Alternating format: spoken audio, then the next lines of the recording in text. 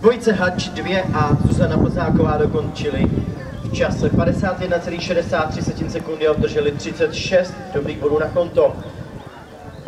Nyní startuje dvojice, která reprezentuje JK Liberta s Ústí nad Labem, Pronézis a Kateřina Zemanová. Připraví se Jartimová, Jichová, Kopejsková.